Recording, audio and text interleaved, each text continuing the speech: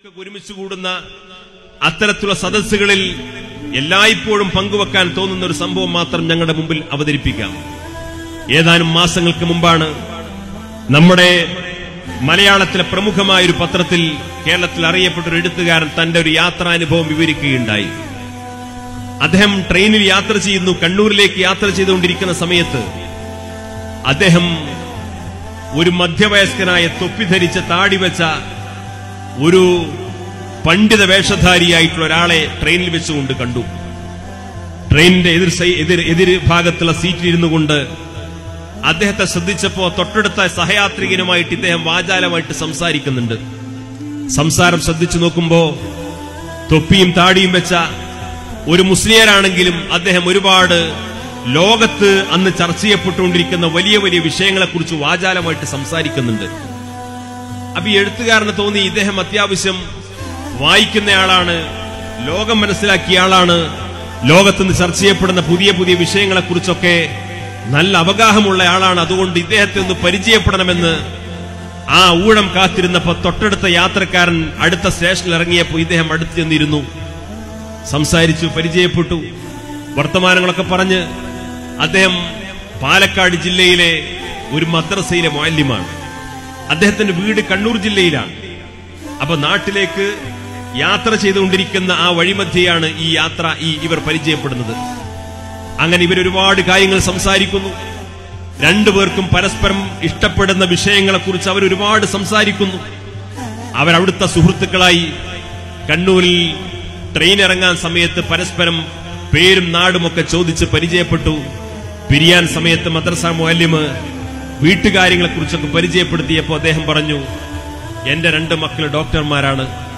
അവർ കോഴിക്കോട്ട് ഇന്നാലിന്ന ആശുപത്രികളിൽ ജോലി ചെയ്യുന്നുണ്ട്. അവർ കല്യാണം കഴിച്ചതും ഡോക്ടർമാരെ തന്നെയാണ്. വളരെ സന്തോഷപൂർവമുള്ള ജീവിതമാണ് എന്റെ രണ്ട് മക്കൾ. ഒരാണും പെണ്ണും അവരെ ഞാൻ പഠിപ്പിച്ച് വളർത്തി വലുതാക്കി ഡോക്ടർമാരാക്കി. അവരുടെ വിവാഹപ്രായമെത്തിയപ്പോ അവരെ കൊണ്ട് ഞാൻ രണ്ട് ഡോക്ടർമാരെ തന്നെ കല്യാണം കഴിപ്പിച്ചു അവരിന്ന് കോഴിക്കോട് ഇന്നാലിന് ആശുപത്രിയിൽ ജോലി ചെയ്യുന്നുണ്ട്. കോഴിക്കോട് ടൗണിൽ ഒരു ഫ്ളാറ്റ് വിലക്കെടുത്തിട്ട് അവിടെയാണ് താമസം. ഞാൻ പാലക്കാട് ജില്ലയിലെ ഇന്നാലിന്ന മദ്രസയിൽ അധ്യാപകനായിട്ട് സേവനം ചെയ്യുന്നു എന്ന് പറഞ്ഞു. അപ്പൊ ഇദ്ദേഹത്തിന് വീണ്ടും അത്ഭുതം തോന്നി. കാരണം ഒരു മദ്രസയിൽ അധ്യാപകനായ മധ്യവയസ്കനായ ആ മനുഷ്യൻ ഒരു മദ്രസാധ്യാപനത്തിന്റെ ആ പരിമിതമായ വരുമാനത്തിനകത്ത് നിന്നുകൊണ്ട് മക്കളെ ഇത്രയും പഠിപ്പിച്ച് വളർത്തി വലുതാക്കി ഡോക്ടർമാരാക്കി അവരുടെ നിലവാരമനുസരിച്ച് തന്നെ വിവാഹബന്ധവും നടത്തി. അങ്ങനെ മാതൃകായോഗ്യനായ ഒരു മദ്രസാധ്യാപകൻ എന്ന രീതിയിൽ ഇദ്ദേഹം പരിചയപ്പെട്ട് അദ്ദേഹം അവർ യാത്ര പിരിഞ്ഞു. യാത്ര പിരിഞ്ഞ് കുറച്ച് സമയം കഴിഞ്ഞപ്പോഴാണ് ഈ എഴുത്തുകാരനായ സുഹൃത്തിനൊരു സംശയം. ഇദ്ദേഹം പറഞ്ഞതെല്ലാം ശരിയാണ്. മക്കൾ ഡോക്ടർമാരാണ് മരുമക്കളും ഡോക്ടർമാരാണ്. പക്ഷെ ഇദ്ദേഹം എപ്പോഴും മദ്രസാ മൂല്യമാണ് ഇത് രണ്ടും കൂടി ഒത്തുവരുന്നില്ലല്ലോ. അപ്പൊ നാല് ഡോക്ടർമാരുടെ വരുമാനം ഒരു വീട്ടിലുണ്ടാകുമ്പോൾ ലക്ഷക്കണക്കിന് രൂപയാണ് വരുമാനം. ആ ലക്ഷക്കണക്കിന് രൂപ വരുമാനമുള്ള ഇത്രയും കട്ടപ്പെട്ട് പഠിപ്പിച്ച് അധ്വാനിച്ച ആ പിതാവ് ഇപ്പോഴും മദ്രസയിൽ അധ്യാപകനായിട്ട് ജോലി ചെയ്യുന്നു എന്ന് പറഞ്ഞാൽ ഇത് രണ്ടും കൂടി ഒത്തുവരുന്നില്ലല്ലോ എന്ന വല്ലാത്തൊരു ആശങ്കയാണ് ഇദ്ദേഹത്തിന്. പക്ഷെ അത് നേരിട്ട് വിളിച്ചു ചോദിക്കാൻ ഒരു മനപ്രയാസം. പക്ഷേ തന്നെ വല്ലാതെ ആകർഷിച്ച മക്കൾ ആ അർത്ഥത്തിൽ പഠിച്ചു വളർത്തി വലുതാക്കിയ ഇപ്പോഴും നന്നായിട്ട് വായിക്കുകയും ലോകത്തെ സംഭവങ്ങളെക്കുറിച്ചൊക്കെ നല്ല അവഗാഹവും ധാരണയുമുള്ള ഈ ഒരു സുഹൃത്തിന്റെ ജീവിതത്തെക്കുറിച്ച് കൂടുതൽ അറിയണം എന്ന ആഗ്രഹത്തോടുകൂടി അദ്ദേഹത്തോട് നേരിട്ട് ചോദിച്ചതിന് ചോദിക്കുന്നതിന് പരിമിതി ഉണ്ടായതുകൊണ്ട് മറ്റു വഴികളിലൂടെ അദ്ദേഹം ഇതിനെക്കുറിച്ച് അന്വേഷിച്ചു. അന്വേഷിച്ചപ്പോൾ അദ്ദേഹത്തിന് കിട്ടിയ മറുപടി അദ്ദേഹം പറഞ്ഞതെല്ലാം ശരിയാണ്. മദ്രസ മോയല്യം ഇദ്ദേഹത്തെ പരിചയപ്പെടുത്തിയിടത്ത് ഒരു കളവും പറഞ്ഞിട്ടില്ല. വളരെ സത്യസന്ധമായിട്ടാണ് പറഞ്ഞിട്ടുള്ളത്. അദ്ദേഹം മദ്രസയിൽ അധ്യാപകനാണ്. മക്കളെ കുറിച്ച് പറഞ്ഞതെല്ലാം ശരിയാണ്. അപ്പൊ വേറെന്തെങ്കിലും അദ്ദേഹം പറഞ്ഞോ എന്ന് ചോദിച്ചപ്പോ ഇത്രയും കാര്യങ്ങളാണ് പറഞ്ഞത് എന്ന് പറഞ്ഞപ്പോ സുഹൃത്ത് പരിചയപ്പെടുത്തി കൊടുത്തു. ഇദ്ദേഹം പറഞ്ഞതെല്ലാം സത്യമാണ്. പക്ഷേ മക്കളെക്കുറിച്ച് അഭിമാനത്തോടുകൂടി നിങ്ങളെ മുമ്പിൽ വളരെ സന്തോഷപൂർവം അവതരിപ്പിക്കപ്പെടുന്നതിനിടയിൽ വളരെ തന്ത്രപരമായി വളരെ വിദഗ്ധ വിദഗ്ധമായി ഒരു കാര്യം ആ മദ്രസാധ്യാപകൻ മറച്ചു വെച്ചിട്ടുണ്ട് വളരെ വിദഗ്ധമായി മറച്ചു വെച്ചിട്ടാണ് അദ്ദേഹം സംസാരിച്ചത്. അപ്പൊ അതെന്താണെന്ന് കൂടുതൽ അന്വേഷിച്ചപ്പോ വളരെ കഷ്ടപ്പെട്ട് പ്രയാസപ്പെട്ട് കടം വാങ്ങിയും പല ആളുകളുടെ സഹായം കൊണ്ടും വിവിധ സ്കോളർഷിപ്പും മറ്റുമൊക്കെ എടുത്തുകൊണ്ടാണ് കഷ്ടപ്പെട്ടിട്ടാണ് ഇദ്ദേഹം ഈ മക്കളെ പഠിപ്പിച്ചത്. വളരെ ചെറിയ പ്രായത്തിലെ ഈ മദ്രസാധ്യാപകനെ സംബന്ധിച്ചിടത്തോളം അദ്ദേഹത്തിന്റെ വലിയൊരു സ്വപ്നമാണ് എന്റെ മക്കളെ ഡോക്ടർമാരാക്കണം. എന്റെ മക്കളെ രണ്ടുപേരെയും ഡോക്ടർമാരാക്കണം. അതിന് എന്ത് ത്യാഗവും ചെയ്യാൻ അദ്ദേഹം തയ്യാറാണ്. വളരെ കഷ്ടപ്പെട്ട് പല സമയങ്ങളിൽ പല മദ്രസകളിൽ ജോലി ചെയ്തും അദ്ദേഹത്തിന്റെ ആഗ്രഹവും അദ്ദേഹത്തിന്റെ വലിയ വിശാലമായ സൗഹൃദ ബന്ധമൊക്കെ ഉപയോഗപ്പെടുത്തി പല രീതിയിലും പണം സംഘടിപ്പിച്ചാണ് മക്കളെ പഠിപ്പിച്ചത്. മക്കൾ രണ്ടുപേരും എം ബി ബി എസിന് പഠിച്ചുകൊണ്ടിരിക്കുന്ന സമയത്താണ് ജീവിതത്തിൽ ഒരു പരീക്ഷണം എന്ന രീതിയിൽ ഇദ്ദേഹത്തിന്റെ ഭാര്യയ്ക്ക് ക്യാൻസർ രോഗം പിടിപെട്ടു. ഭാര്യയ്ക്ക് ക്യാൻസർ രോഗം പിടിപെട്ടപ്പോ അത് ജീവിതത്തിൽ വല്ലാത്തൊരു പരീക്ഷണമായി. കുടുംബക്കാരും സുഹൃത്തുക്കളൊക്കെ പറഞ്ഞു മക്കളേതായാലും പഠിച്ച് ഈ ഒരു അവസ്ഥയിലെത്തിയല്ലോ. ഇനിയും നിങ്ങൾ വീണ്ടും കടം വാങ്ങിയിട്ടും സാമ്പത്തികമായിട്ട് ബുദ്ധിമുട്ടിയിട്ട് ഒരു സാഹസത്തിന് മുതിരരുത്. അവരെ ഇപ്പോൾ പഠിച്ചെത്തിയത് വരെ നിർത്തിയിട്ട് അവരെവിടെയെങ്കിലും ജോലിക്ക് പോകട്ടെ. എവിടെയെങ്കിലും ജോലിക്ക് പോകട്ടെ. ഉള്ള വിദ്യാഭ്യാസം കൊണ്ട് ജോലി എടുത്തിട്ട് അതിന്റെ വരുമാനം കൊണ്ട് അവർ കുടുംബം പോറ്റട്ടെ. അവർ ഉമ്മയെ ചികിത്സ നടത്തട്ടെ. എന്തിനാണ് ഇങ്ങനെ ഒരു സാഹസത്തിന് മുതിരുന്നത് എന്ന് പറഞ്ഞപ്പോ ഇദ്ദേഹത്തിന് അത് ഒരിക്കലും സഹിക്കാൻ കഴിയുന്നില്ല. കാരണം ഞാൻ എന്റെ മക്കളെ ഡോക്ടറായി കാണാൻ വല്ലാതെ ആഗ്രഹിച്ച ഒരാളാണ്.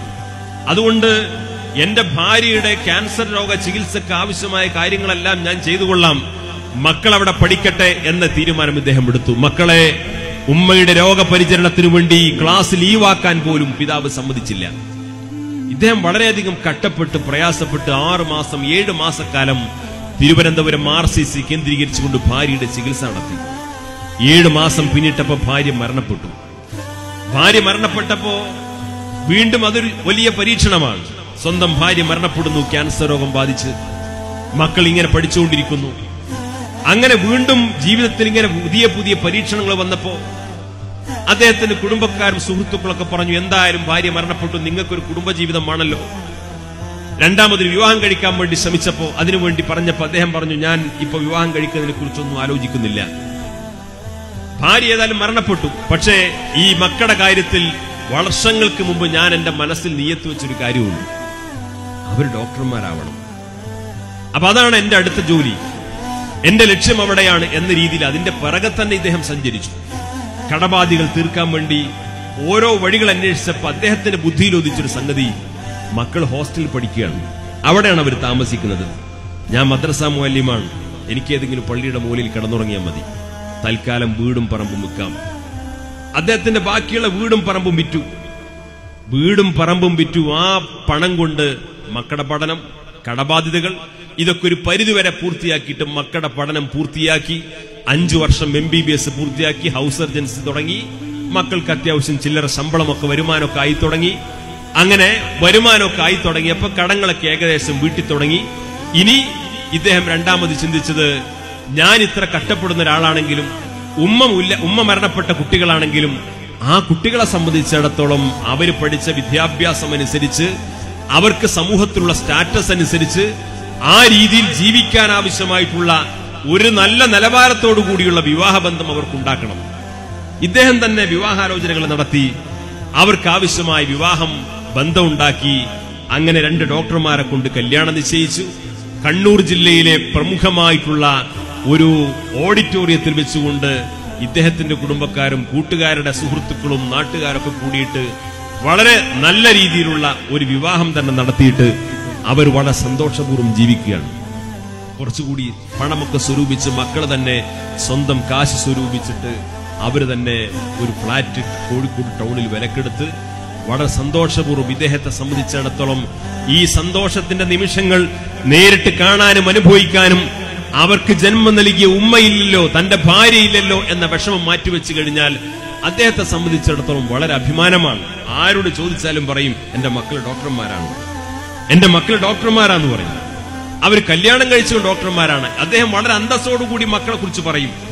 മക്കളെ കുറിച്ചും കുടുംബങ്ങളെ കുറിച്ചും ചോദിക്കുമ്പോഴേക്ക് വളരെ വാചാലമായിട്ട് സംസാരിക്കും കാരണം അഭിമാനത്തോടുകൂടി അദ്ദേഹം എല്ലാ കൂട്ടുകാരോടും സുഹൃത്തുക്കളോടും ആദ്യം അത് പറയും. എന്റെ മക്കൾ രണ്ടുപേരും ഡോക്ടർമാരാണ്. അവർ കല്യാണം കഴിച്ചതും ഡോക്ടർമാരാണ്. അവർ ഇന്ന ആശുപത്രിയിൽ ജോലി ചെയ്യുകയാണ് ഇന്ന ഫ്ളാറ്റിൽ താമസിക്കുകയാണ്. ഒരു പിതാവ് തന്റെ ജീവിതത്തിൽ നേടിയെടുത്ത വലിയ നേട്ടത്തെ പോലെ അദ്ദേഹം ഇങ്ങനെ സംസാരിച്ചുകൊണ്ടേയിരിക്കും. ഫ്ളാറ്റൊക്കെ വിലക്കെടുത്ത് അവിടെ കടബാധ്യകളൊക്കെ തീർന്ന് മക്കൾ സന്തോഷപൂർവം ജീവിക്കുന്നത് കാണാൻ വേണ്ടി ഒരു ദിവസം പാലക്കാട് നിന്ന് ട്രെയിൻ കയറി കോഴിക്കോട് വന്നിറങ്ങി അങ്ങനെ ഈ ഫ്ളാറ്റിലേക്ക് ഒരു ഓട്ടോ വിളിച്ച് ചെന്ന് ഫ്ളാറ്റിൽ വാപ്പ വരുന്നുണ്ട് എന്നറിഞ്ഞപ്പോ മക്കളും മരുമക്കളും കോടിക്കോടൻ പലഹാരങ്ങളൊക്കെ ഉണ്ടാക്കി. അങ്ങനെ വാപ്പാനെ സ്വീകരിച്ചിരുത്തി അവർ ഭക്ഷണം കഴിച്ച് വാപ്പ തിരിച്ചു പോകാൻ വേണ്ടി ഇറങ്ങിയപ്പോ മകനും മകളും കൂടെ ഇറങ്ങി. മകനും മകളും കൂടെ ഇറങ്ങിയിട്ട് അവിടെ ബസ് സ്റ്റാൻഡിലേക്ക് ബസ് കയറ്റി വിടാൻ വേണ്ടിയിട്ട് സിറ്റി സ്റ്റാൻഡിലേക്ക് ബസ് സ്റ്റോപ്പിലേക്ക് വാപ്പാനെയും വാപ്പാനെയും കൊണ്ട് മകനും മകളും കൂടെ വന്നു. മരുമക്കൾ രണ്ടുപേരും അവിടെ വീട്ടിലിരുന്നു. മകനും മകളും കൂടെ വന്നിട്ട് ബസ് സ്റ്റോപ്പിലേക്ക് വാപ്പ് എത്തി. എന്റെ പ്രിയപ്പെട്ട രക്ഷിതാക്കൾ ഗൗരവത്തിൽ ചിന്തിക്കേണ്ടതാണ് ഇനി ഞാൻ പറയുന്നത്. വാപ്പ ബസ് കയറാൻ സമയത്ത് മകൻ ഒരു പേപ്പറിൽ ഒരു നമ്പർ എഴുതിയിട്ട് വാപ്പാന്റെ കൈ കൊടുത്തു. വാപ്പാനോട് പറഞ്ഞു ഇതെന്റെ പുതിയ ടെലിഫോൺ നമ്പറാണ്. ഇതാണ് എന്റെ പുതിയ മൊബൈൽ നമ്പർ. ഞായറാഴ്ച മാത്രമേ ഈ ഫോണിൽ നിങ്ങൾ വിളിക്കാൻ പാടുള്ളൂ. കാരണം അല്ലാത്ത ദിവസങ്ങളൊക്കെ ഞാൻ ഹോസ്പിറ്റലിലാവും. ഡോക്ടർ രോഗികൾക്കിടയിലായിരിക്കും വാർഡിലായിരിക്കും തിരക്കിലായിരിക്കും. അപ്പൊ വിളിച്ചാൽ പ്രയാസമാണ്. ഞായറാഴ്ച മാത്രമാണ് നിങ്ങൾ ഈ നമ്പർ വിളിക്കേണ്ടത്. എല്ലാ ഞായറാഴ്ചയും വിളിച്ചാൽ എന്നെ കിട്ടും. നിങ്ങൾക്ക് കാശിന്റെ എന്തെങ്കിലും ആവശ്യമുണ്ടെങ്കിൽ ഈ നമ്പർ വിളിച്ചാൽ മതി. ഞാൻ നിങ്ങളുടെ അക്കൗണ്ടിലേക്ക് കാശ് ട്രാൻസ്ഫർ ചെയ്ത് തരാം. മകൻ പാപ്പാനോട് പറയാം നിങ്ങൾക്ക് കാശിന് ആവശ്യമുണ്ടെങ്കിൽ ഈ നമ്പർ വിളിച്ചാൽ മതി.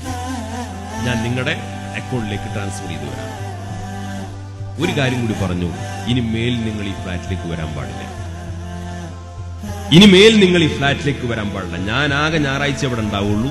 ഞായറാഴ്ച എന്റെ പല ഫ്രണ്ട്സുമാരും സുഹൃത്തുക്കളും അടുപ്പക്കാരൊക്കെ വരുന്ന ദിവസമാണ്. അന്നിങ്ങനെ വാപ്പാന്നും പറഞ്ഞിട്ട് തൊപ്പിയും താടിയും വെച്ചിട്ട് ഇവിടെ കയറി വരുന്നത് അവന് മനപ്രയാസമാണ്. അതുകൊണ്ട് മേലിൽ ഇനി ഇങ്ങോട്ട് വരാൻ പാടില്ല. നിങ്ങൾ കാശിന്റെ ആവശ്യമാണെങ്കിൽ ഈ നമ്പർ വിളിച്ചു പറഞ്ഞാൽ മതി. അത് ഞായറാഴ്ച മാത്രമേ വിളിക്കാൻ പാടുള്ളൂ. ഈ നമ്പർ വിളിച്ചാൽ ഈ നിങ്ങൾക്ക് ആവശ്യമുള്ള കാശ് ഞാൻ ബാങ്കിലേക്ക് അയച്ചു തരാം ഇത് ഞാൻ ഏതെങ്കിലും കഥയോ കെട്ടുകഥയോ നോവലിന്റെ ഭാഗമെടുത്ത് ഉദ്ധരിച്ചതല്ല ആ നാല് ഡോക്ടർമാരും ഇന്നും കോഴിക്കോട്ട് ഈ അറിയപ്പെടുന്ന ആശുപത്രികൾ ജോലി ചെയ്യുന്നുണ്ട് അവിടുത്തെ ഫ്ളാറ്റിൽ താമസിക്കുന്നുണ്ട് ഈ മദ്രസ മുതലും ജീവിച്ചിരിപ്പുണ്ട്.